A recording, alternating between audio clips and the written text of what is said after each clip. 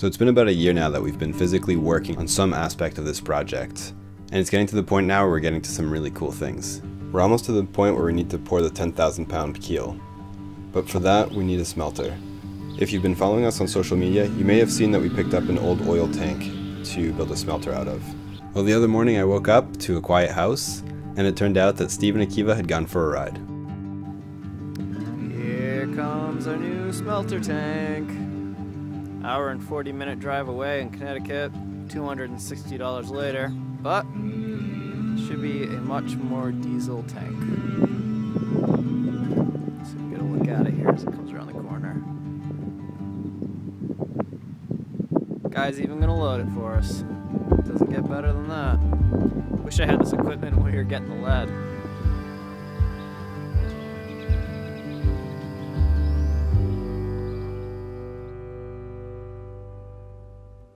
So this is going to be our melting tank to melt 10,000 pounds of lead to pour the ballast keel. So we need to get a way to put the lead in. So I started cutting a hole out and it's almost ready to drop in.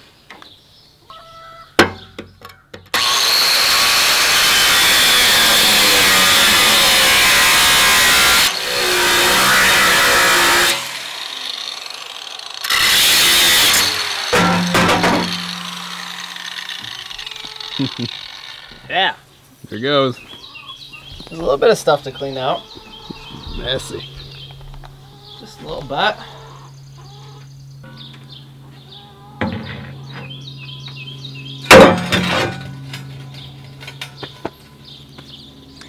Okay. Now we need a tarp. So then we can roll this over and see if we can get some of that gunk out of there.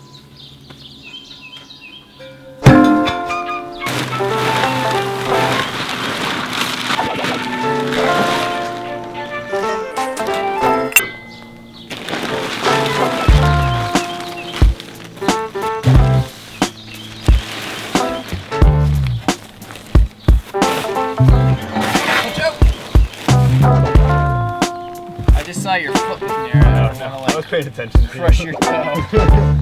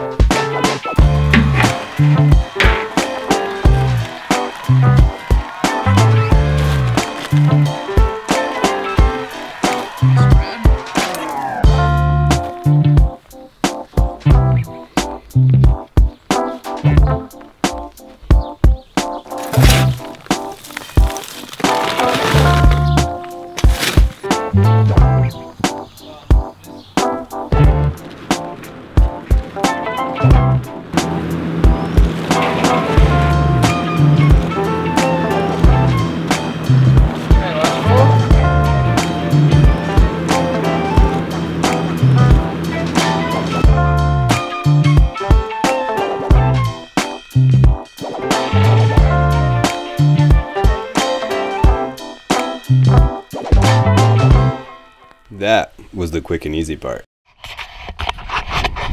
All right, project for today is to work on the smelting tank. So I went to Sullivan Steel in Holyoke.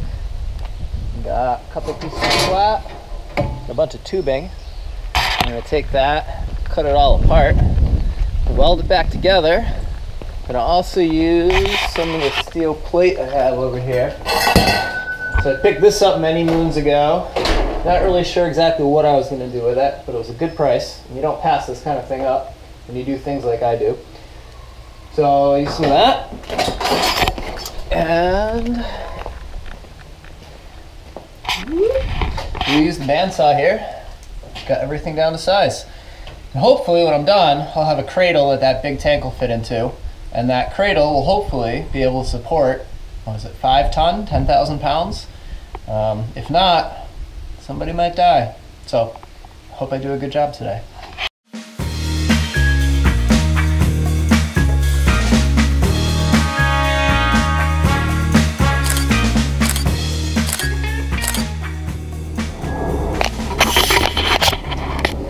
Operating this GoPro confuses the living hell out of me. I'm so glad that I have Alex to do 90% of this stuff because you guys would never see videos if it was left up to me. I'm just not capable of this. I can build a boat, I can do a lot of things. I can't do videos, I can hardly operate the GoPro. Anyways, most of the pieces are cut now. So if you can look over here, I've got six legs and three stringers are gonna run all the way down the length of it and provide some support. So the next mission, as previously mentioned, is to get this plate out of here. So I lifted it up and I put this bolt underneath it. And if I crawl into the back and lift and roll, it should slide and roll on that bolt pretty easily and pretty easy. It's still really heavy. And uh, we'll see if we can weasel it out of here. And then, I don't know, it might be lunchtime after that. see how it goes. All right. Let the battle commence.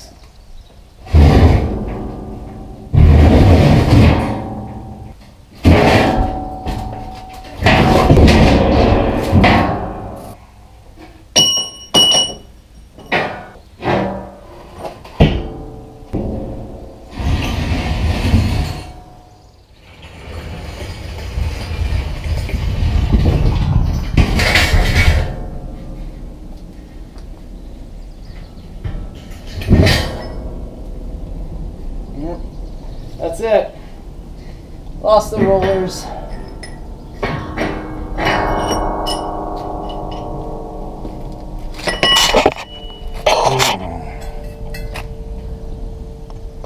That's not bad. We'll just move it a little bit farther out, and then I'll be able to draw what I need on it, take the grinder, and carve it out. But my stomach is telling me it is lunchtime. So it's time to go feed the beast. Yeah, went right to filming. Turned it on, started filming. I don't understand this machine. All right, so had lunch. That was good. I was hungry. After lunch, I came out and I made a template. And you can see here, and that is the same arc as the barrel. And I put that down here on the steel, and then put in where I wanted my braces to go. Got that all drawn out. Now I'm gonna get the grinder, cut it all out. Oops. So I get the grinder and I'll cut it all out. And I'll take it over to the tank and give it a test fit. And I'll get this piece to fit really nicely. And then I'll use that to make the next two. So there'll be three of these plates all together underneath to help support it. So I'll get set up here and start cutting with the grinder.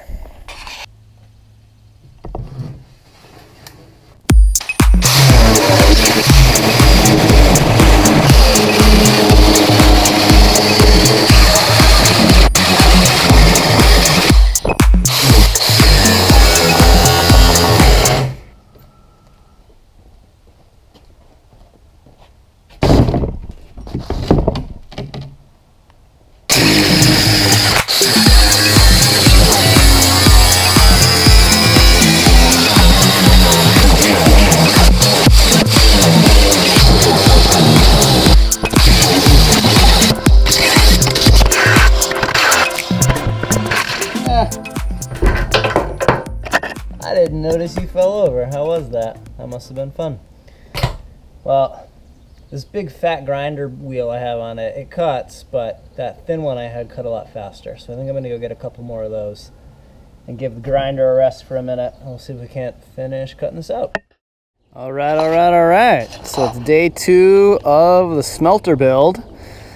And I finished cutting out these big steel plates, as you can see and got all the metal cut up. So now it is time to start welding. So this guy, this piece of tubular steel is gonna get welded to the tank. And then these three flat plate steel supports will get welded in place. And then there'll be two more pieces of tubular steel that go on the right and on the left. And then eventually the legs. So we'll see. It's looking a little dreary and cloudy up there. I don't know if Mother Nature is going to rain on us or not. If it starts to rain, I got to stop welding. But I'm gonna try to get as much done as I can here while the weather lets us. So let me set the GoPro up here.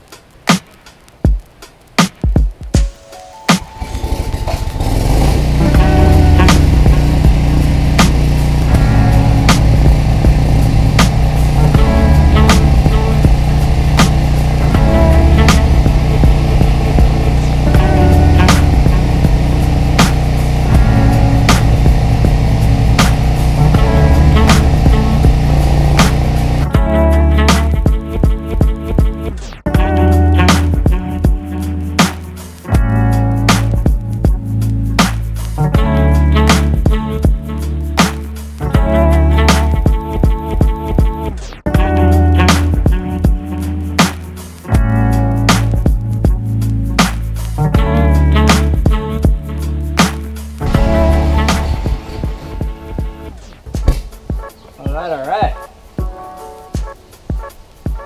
I think that's a really good start. Now I gotta do a little figuring, and then I will cast the legs.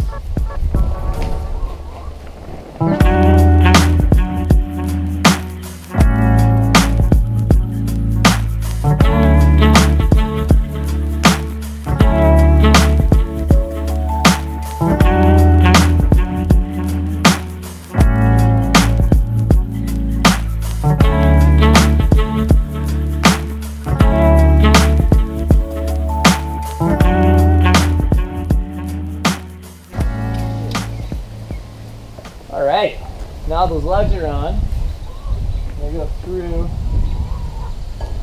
weld one more down the center. Then we're gonna connect them, and that should be our base. So I gotta go cut three legs at 23 and a half inches. Well, we got the legs put on the smelter tank today. A lot of welding. Used about 160 bucks worth of steel. But here it is. Took the long runs of tube steel on. And put those big plates. Welded on some legs. And added some extra support. These bars will help keep the legs from spreading apart. And they will also help keep the legs from sinking into the ground. Because, you know, when there's five tons on this, these are really going to want to just disappear. So that should go a long ways. Diagonal braces will keep the front up. And then the lead will come flowing out of here eventually. So now I'm gonna get cleaned up, go get the tractor, and we'll see if we can flip this right side up and take a gander at it. All right, so I got the tractor. We're gonna use that to help spin this around and hopefully get it stood up.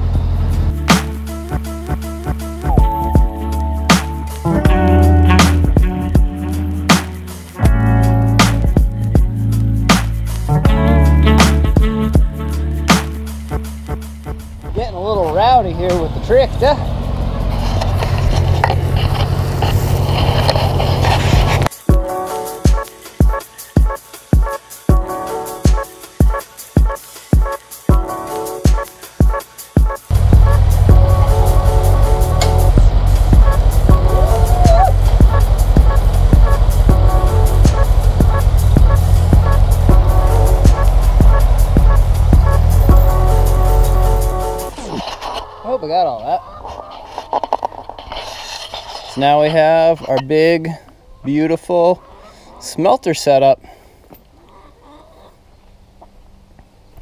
So we'll have to level it and probably dig down on the ground a little bit, probably bury those feet. We'll see how high we have to have it, but we need to make sure that the lowest part of the tank is higher than the highest part of our mold. So I made the legs a little long for now, figuring it would be easy enough to dig a little trench next to them and drag it over a little bit and drop it down. And then all of our lead's gonna get piled in there. And it'll come out here, we'll run another elbow and over, and then we'll put the ballast keel mold somewhere in here. I don't want to get it too close to the boathouse. Last thing I want to do is set the boathouse on fire when we do this. That would be bad. Bad, bad, bad, bad, bad. Cool. I'm happy. We're getting closer and closer to doing the pour. Hopefully next weekend we'll fire this thing up and put the wheel weights in it and get those cleaned and start to figure out exactly how much lead we have. We have somewhere between, I don't know, six and 8,000 pounds. We're not really sure. Eight would be amazing. That means we only need to find two. Maybe we even have more. Who knows? Uh, but we'll find out soon. Stay tuned.